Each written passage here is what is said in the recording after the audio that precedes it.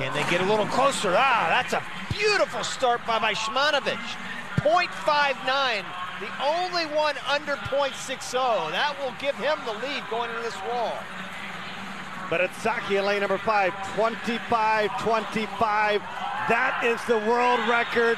Shymanovich trying to catch him, but nobody's going to catch Sakçı. How good will it be? Sakçı! Oh, only four 100s off the world record. Oh my goodness. So very close. Oh, and he knew it. Yikes. Look at that time. What a performance by Sakçı. Of course, it goes without saying that is a new